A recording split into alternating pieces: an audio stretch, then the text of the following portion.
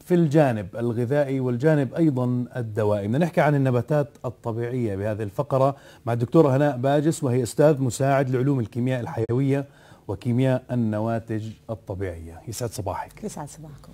يسعد صباحك. أهلا وسهلا فيك دكتورة. يا أهلا فيك. يعني بداية نتناول موضوع التنوع النباتي عندنا هون بالأردن. نعم إحنا في الأردن نتميز إنه عندنا تنوع مناخي وتنوع جغرافي متميز مم. مقارنة بالدول الأخرى.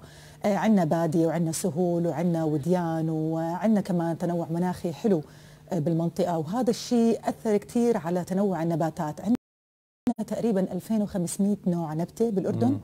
20% منها يعتبر طبي. وهذا تقريبا بيجي يعني بدك تقول 485 نوع نبتة.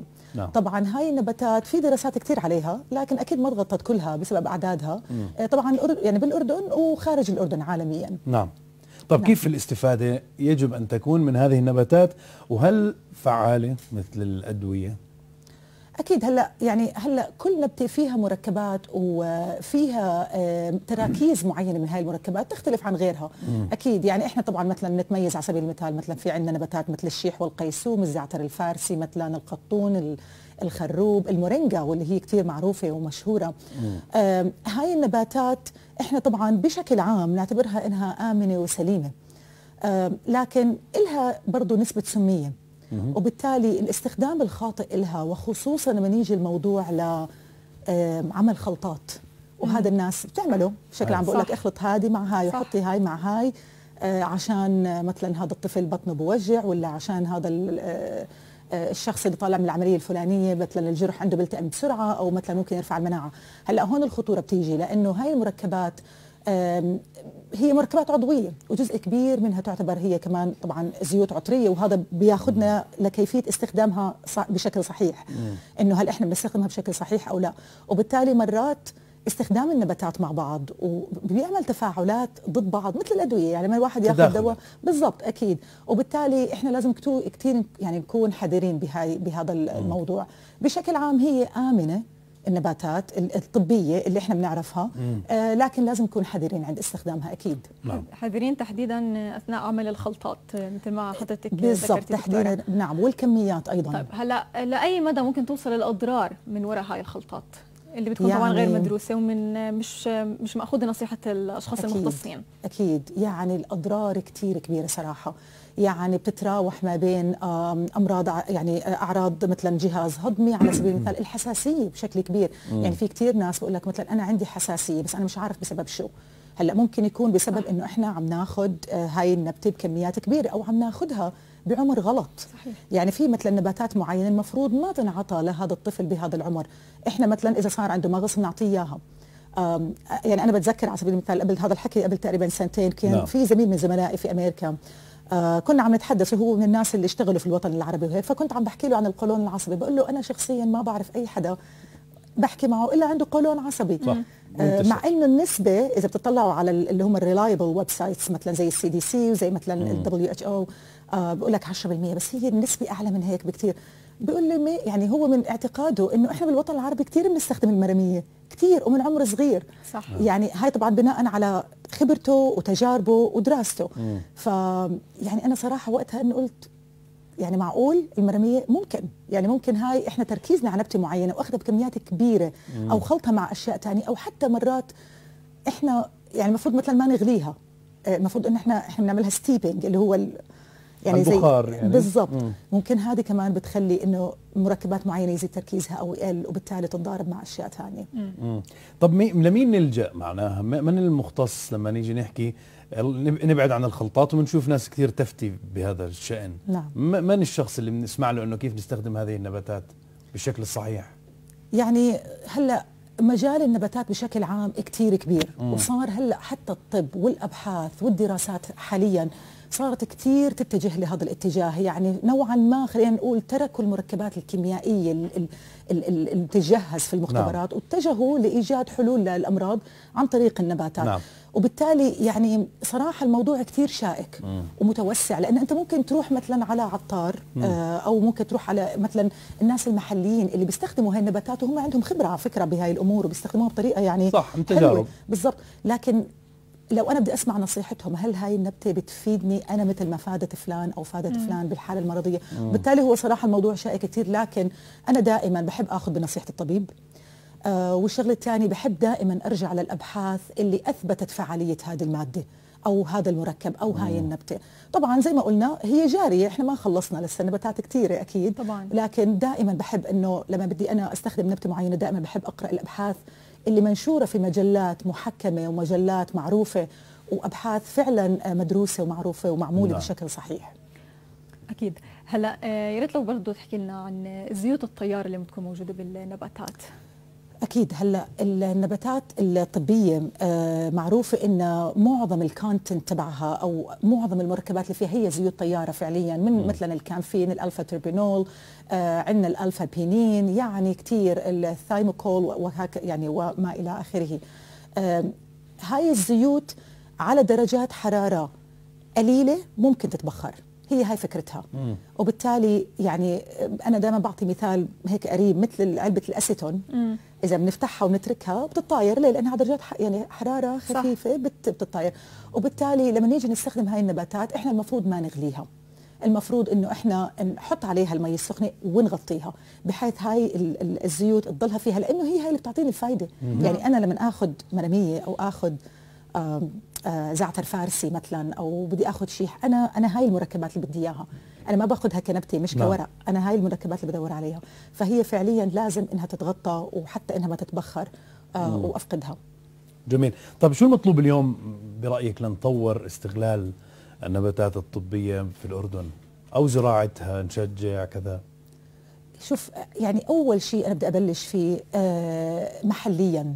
آه في شغلات يعني مثلا إحنا عم نحكي عن النباتات اللي ذكرتها قبل شوي نعم. مثلا زي يعني أنا مثلا اشتغلت على الزعتر الفارسي اللي هو Thymus capitatus اشتغلت على ال Lonicera etrusca اللي هي الياسمين العراقي اللي هو البري وليس المزروع. نعم.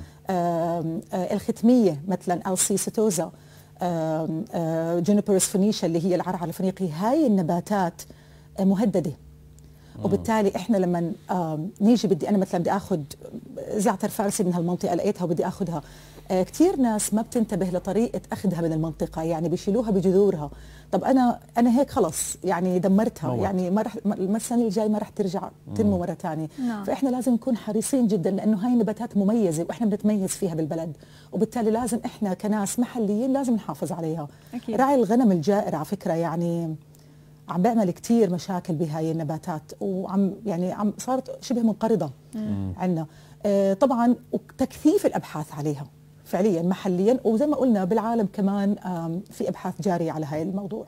جميل. ذكرتي على موضوع الأبحاث آه، إنه خصوصا إذا الواحد حابب يعرف شيء عن نبتة معينة يقرأ أبحاث نعم. مضمونة في نعم. مجلات عالمية معروفة Yes. هلأ إحنا مجرد ما نفتح آه، على جوجل تحديدا نكتب اسم نبتة رح يطلع لنا كثير yes. كثير معلومات كيف إحنا بنقدر نعرف إنه هاي المعلومة صحيحة أو هاي المعلومة خاطئة صح. لأنه إحنا يمكن الأشخاص اللي مش مختصين بالنباتات ما رح نقدر نعرف إنه هاي مجلة آه، فعلا عالمية مختصة بالنباتات أو مش مختصة أكيد أكيد سؤالك رائع جد لأنه أنا هذه هاي النقطة بالذات ركزت عليه. أنا فتحت صفحة إنستغرام جديدة على وعملت هيك فيديوهات قصيرة عن أهمية النباتات وكيفية استخدامها وهل هي فعلا مفيدة زي ما الناس بتحكي ولا لا؟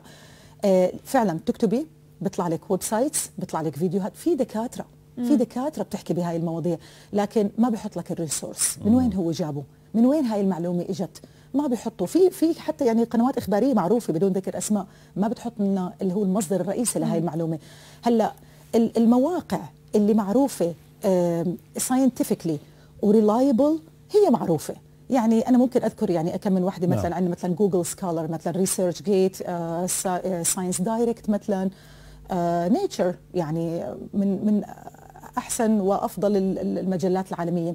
هذه بتعطيني الأبحاث كما هي. بتعطيك النتائج السلبية والنتائج الإيجابية لنا لكن زي ما قلتي أنا ممكن أفوت على اليوتوب مثلا والاقي آه كثير معلومات. كثير معلومات بالضبط. وتضارب. وهذا على فكرة كمان حتى في الطب البشري. بكل شيء يس موجود في كل شيء. طب آه بس هيك من باب الشيء بالشيء يذكره بالحديث عن هذا الموضوع. شو في نباتات بتنصحي فيها هيك تكون من يومنا مثلا آه بشكل عام؟ يعني أنا قد ما بدي أحكي عن الكركم آه ما بوفي حقه. بودرة ولا آه لسه زي ما هو قبل ما هلا؟ هو هو مشكلة الجذور يعني إذا بدك تشتريها أنت كجد طبعا أول شيء لازم يكون عضوي خصوصا الكركم. آه هلا نباتات ثانية ممكن يعني ممكن ناخذها غير عضوية. الكركم بالذات ضروري يكون عضوي وجذوره المشكلة إنه ما يعني لما تيجي مثلا نطبخ فيها أو مثلا نغليها ما بتعطينا ال- ال- ال- ال- ال- ال- الكركمين ال- ال- ال- أو ال active ingredient بشكل حلو هيك بتطلع نعم. بالهذا بفضل powder يعني آه، مش غلط إنه ناخذه fresh powder يعني لو أنا عندي المقدرة إنه أخلي آه، الجذور تصير powder أو أطحنها بوقتها إذا في مقدرة ممتاز. إذا لا ال powder بكفي. ممكن على شكل كبسولات أو على شكل عادي powder زي ما إحنا بنشتريه رائع جدا. في نباتات كثير المورينجا يعني المورينجا رائعة فعليا. الزعتر الفارسي أنا عملت عليه طبعا أبحاث ونتائج إن شاء الله يعني على طريقها للنشر. آه، شو فائده إحنا عندنا؟ كنز بالأردن اللي هو الزعتر الفارسي صراحة. حلو. إيش فوائدهم؟ هلا آه، أنا شغلي كان على خلايا السرطان ومضادات الأكسدة. أنا هيك يعني أنا هيك كان ال- الشغل الأساسي عليها. نعم. آم، فعاليتها آه، على خلايا السرطان رائعة.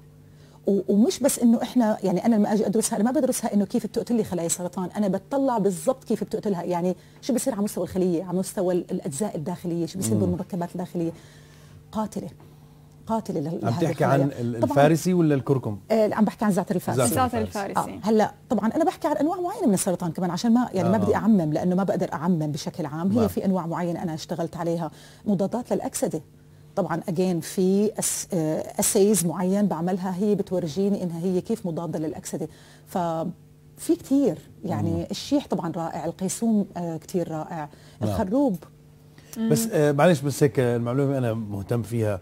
ال- الجذور آه كيف تتأكد إنها عضوية؟